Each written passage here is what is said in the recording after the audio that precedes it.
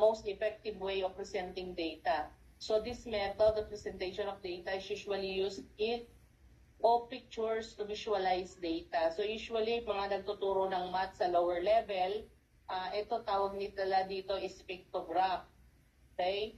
So, ito yung legend natin or yung key, siya po yung magbibigay ng representation sa bawat isang picture. So, for example, dito, yung smiley represent for children.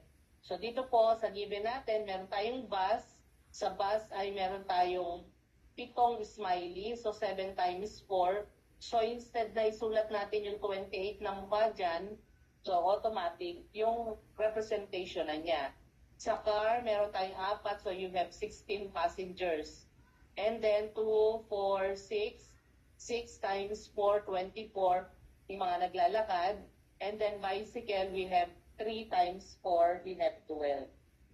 So that is yung shortcut na to represent data. Tampo.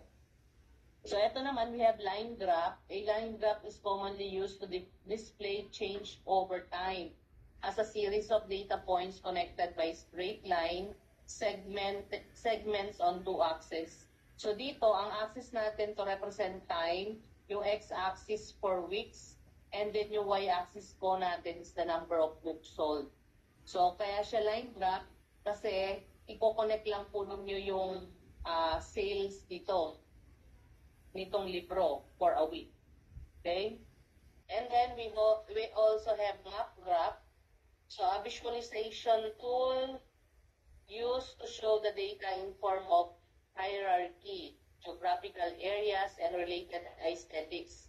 Uh, are several types of maps in data visualization, including administrative, uh, administrative map, So, sa school level naman, so, di ba, dahil nagpasukan, ni-require tayong mag-provide ng school map para sa mga bagong enrollees at saka yung mga trans-in, alam nila kung saan sila pupunta. Okay? Sa mga, ano naman, sa mga mga classroom, meron tayong yung parang route map. For example, nandun kayo sa classroom na yon uh, and then, pagka merong emergency, saan kayo pupunta? ganun, emergency map. And then we have bubble maps, heat maps, statistical maps, trajectory maps, and uh, other categories among which are dynamics map. So meron tayong 2D maps, 3D maps, or static maps, interactive maps. So yun po yung mga iba't ibang klase ng maps.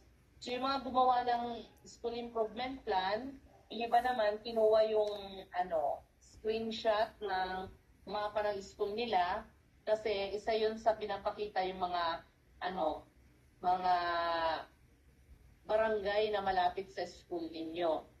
Yan, yun po yung inyong mga catchment area. So, isa po kasi yon. So, for example, sa Malabon, sa Imelda, meron kaming tatlong catchment area doon. So, meron kaming Caloocan, Nabotas, at saka Malabon. So, yun doon ang gagaling yung mga bata namin. So sa school improvement plan, dapat ma-emphasize yun kasi kung bumababa o kumataas yung enrollment,